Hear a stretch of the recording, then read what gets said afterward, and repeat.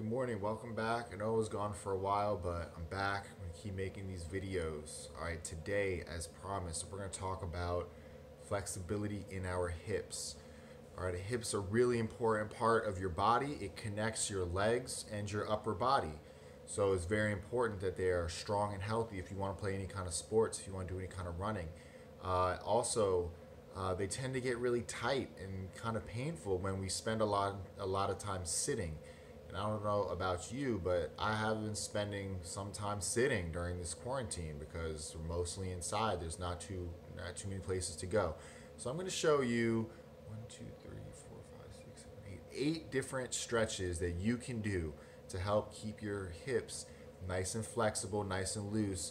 Uh, if you if you're ever getting pain in your lower back or pain in your you know your legs or your hips, you can try these exercises and they can help you to just feel better. You'll be able to walk more easily, to run more easily, just move more freely. And you can show some of these to some of the adults uh, in your life if you want to as well. Although I think it will be much harder for them than it will be for you.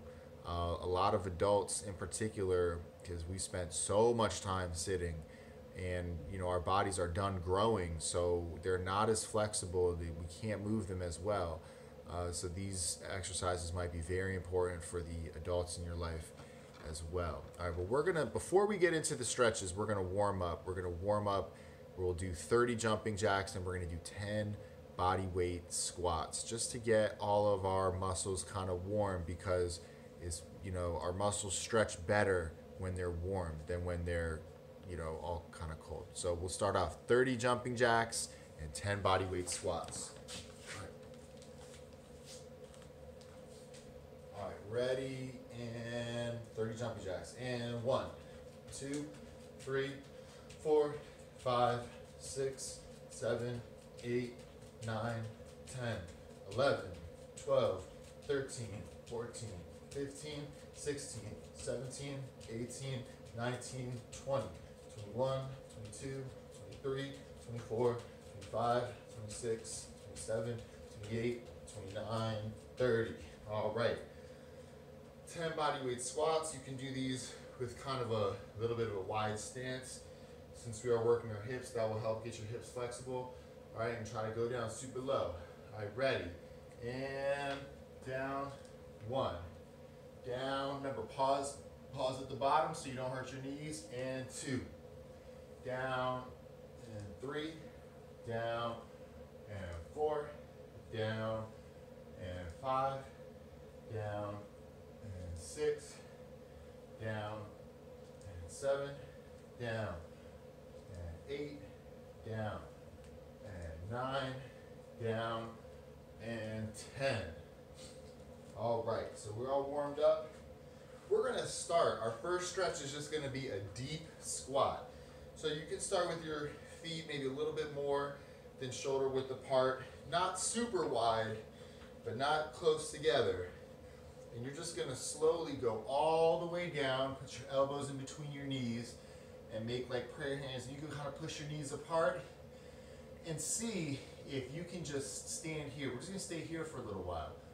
Um, I've also seen this um, called the yogi squat, um, called the Asian squat. Apparently in many parts of Asia, people commonly rest in this position.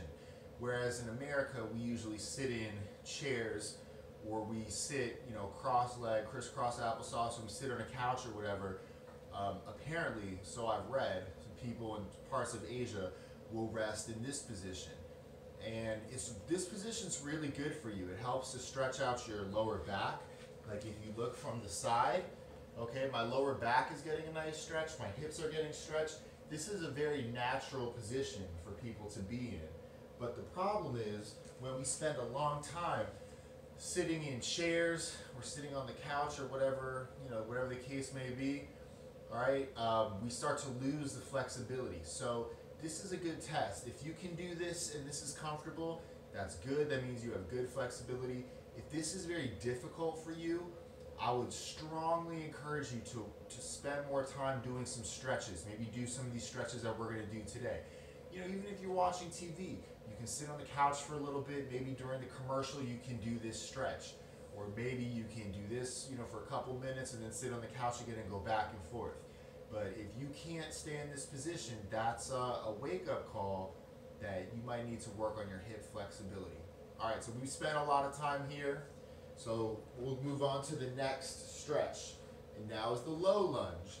So now we're gonna work the flexibility in the front of our hips, in our hip flexors, okay? So we've done this one before, but you're gonna keep your knee on the ground. You're gonna step your foot forward. You're gonna push your body forward like this, all right? Push your hips forward so you feel a stretch right here. And then put your arms up and lean back slightly.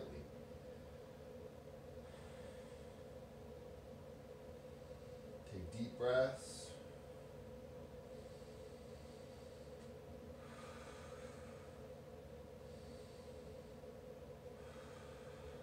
One more. All right. And now we'll switch sides, switch legs. So put your other knee on the ground, step forward with your other foot. All right. And push your hips forward, arms up, lean back, take deep breaths. We'll take I'm to take 5 deep breaths.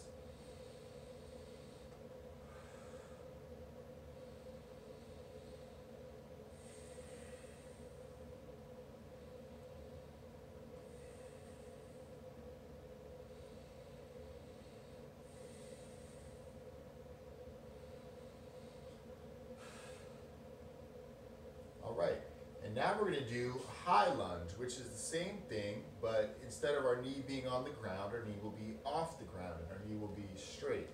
So this is a little bit more, a little bit more intense for most people. I think it is for me anyway. Okay, so now we're gonna tuck our back toes under our foot. Okay, we're gonna push this back leg straight, as straight as you can. Push your body up as straight as you can. Now, if you need to put your arms in your leg, that's fine. If you can lift your arms up, that's good too. And we'll take five breaths here.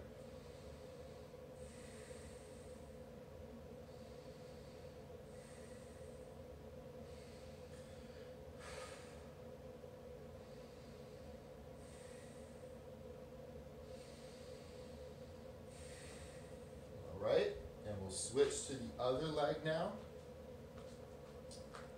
Five breaths on the other leg. So tuck those toes back, get this, you know, this knee, this front knee above your front ankle. Push this leg straight, arms up, and five breaths.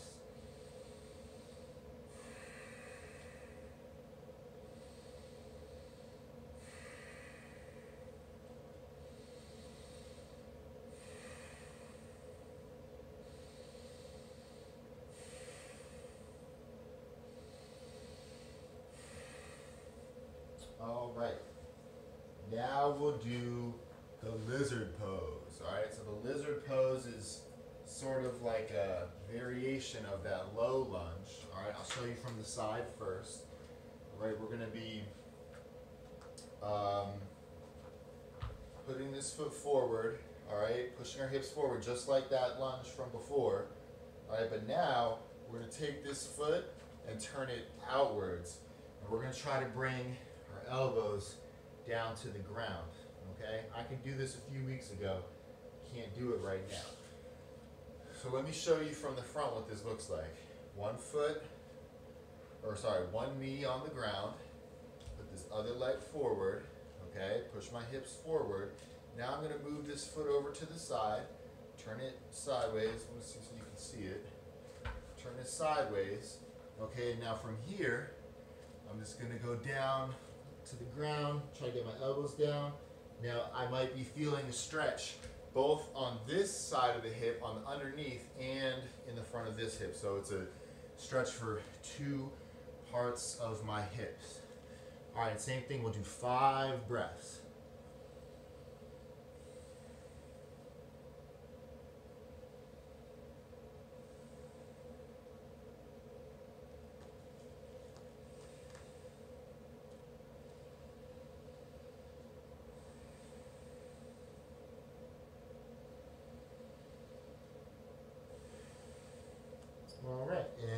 switch.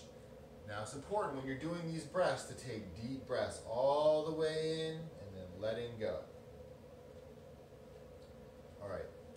So other foot in front, turn your foot over to the side, and we'll come down onto our elbows, and here we go.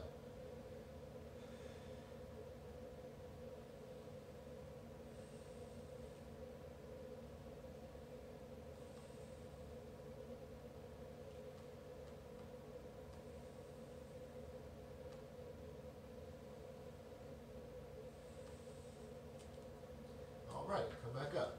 Now the next pose we're gonna do is called fire log. And you can start kind of like in a crisscross applesauce position. Me back this up a little bit.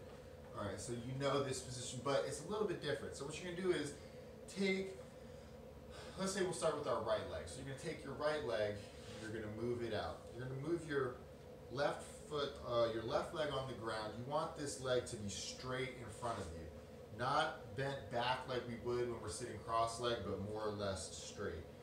And now you're going to take this other leg and put this foot on top of this knee and then put your knee on top of your foot so that both legs they're not crossed but one is stacked on top of the other. That's why they call it fire log because you're stacking your legs like uh, logs for making a fire.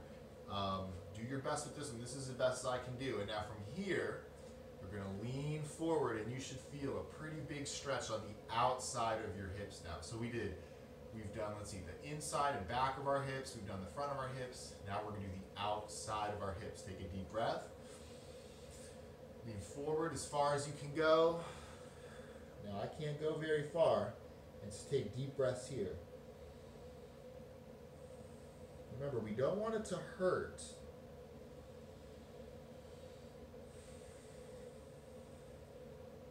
Just feel a nice stretch.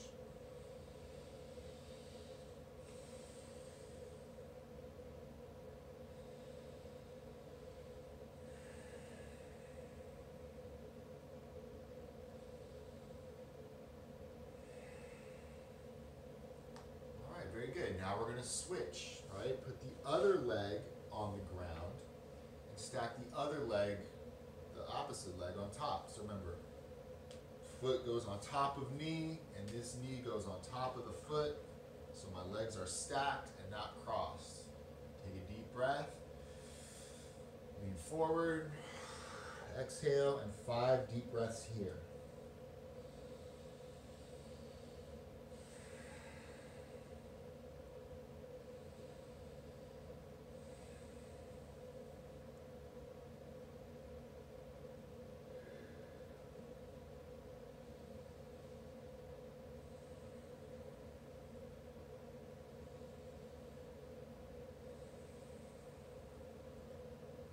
All right, very good. That was fire log. Now we're going to do a pose called reclined pigeon. So we've done pigeon before, but this is like pigeon but on our back with our legs in the air. And I think that it works similar muscles, it will stretch similar muscles to the fire log that we just did. So let me see if I can demonstrate this. So you're going to lie on your back. Start lying on your back. And we'll start with our, our knees bent up in the air like this. And what you're gonna do is you're gonna take, let's say, take your right foot, and you're gonna put your right ankle on your knee, okay? So that your knee is bent. So maybe you can see from this direction now, okay, my leg is bent like this. I'm gonna take my hand and reach it through this space in between my legs and around this knee. And now I'm gonna pull my foot towards my chest. As I do this, I'm going to push my elbow against my leg, and I should feel a stretch right here. Okay, so let's see from this angle. Okay, so I have this foot, I put it against this knee, reach my arm through, grab around this leg, and I'm gonna pull this foot in towards my chest. All right, take deep breaths here.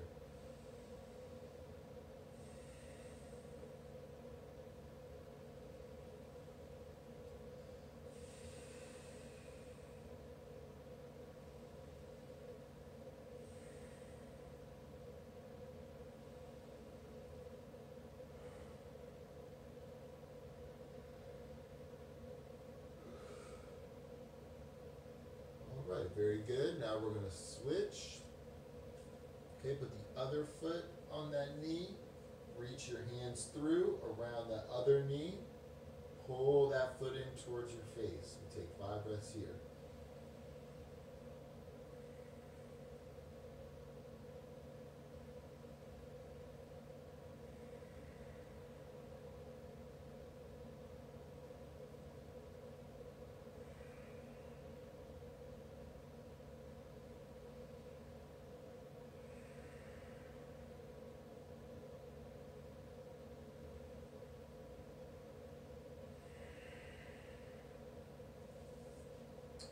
All right, very good.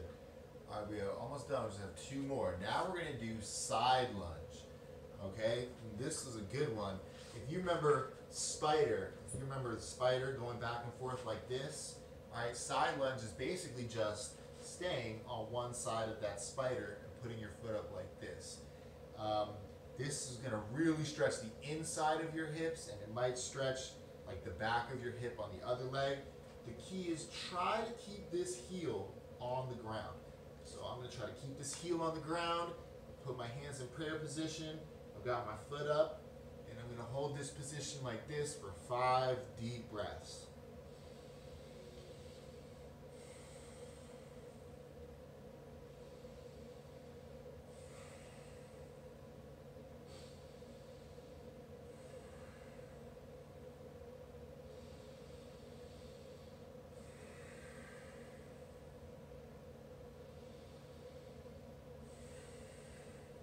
All right, very good. Now we'll move to the other side. Stretch the other hip, the other leg. All right, and five breaths here.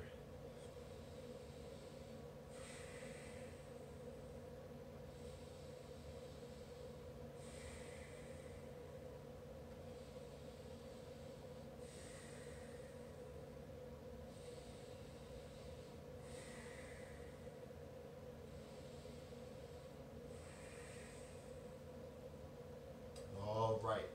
And now the last stretch we're going to do is just going to be regular pigeon. I love this stretch.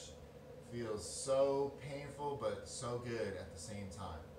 Okay? And for pigeon, remember, to put one leg in front of you like this. Okay, the other foot is going to go, so from this from the side, the other foot's going to go straight behind you like this, and you're going to go forward like this. So from the front, it will look like this. Put this leg, I'm trying to get it as straight as I can. Now, my leg won't go all the way straight. My leg bends back a little bit, but hopefully you're more flexible than me. All right, put my back foot back, take a deep breath, and lean forward and just relax. We're gonna do this one for 10 breaths.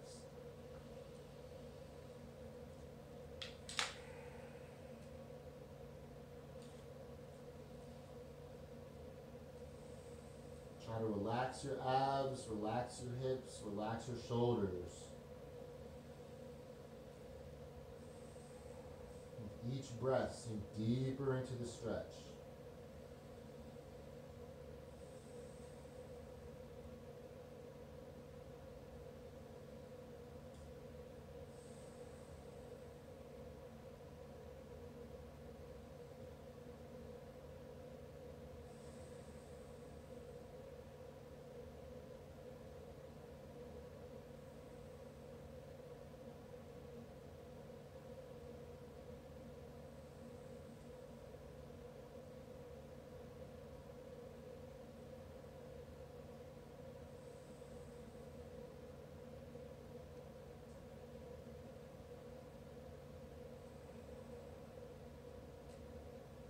All right, very good. Now we'll switch. We'll switch legs.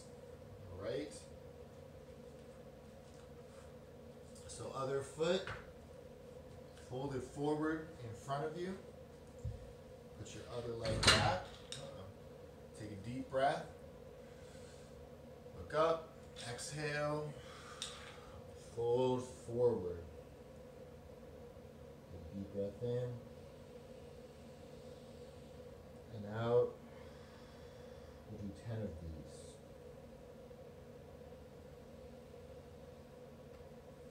Remember, relax your abs, relax your chest and shoulders.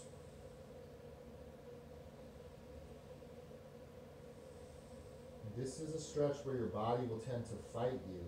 So just try to relax deeper into the stretch with each breath.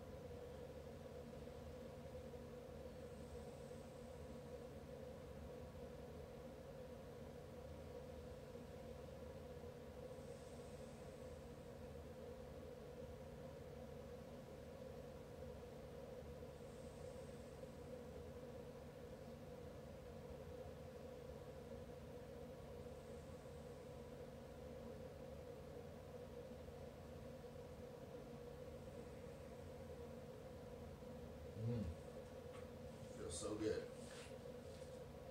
All right. Well, that's it for today. Hope you enjoyed that. Um, this would be a good time now if you want to do splits. Those that's another great uh, hip flexibility exercise. I might do some splits right after this. Um, I like to do splits next to the couch so I have something to put my hands on, or you can do splits on a chair as well. Uh, also, if you notice, we just did some yoga, right? We did some deep stretching and some deep breathing, and I got most of these stretches from a yoga website. So if you want to do the relaxation where you just lie on your back uh, with your palms up and take deep breaths, you can do that uh, as well. Um, that is that's always a great way to relax, especially after you've done some stretching. So, namaste. Uh, hope you have a good day. Stay healthy and stay safe.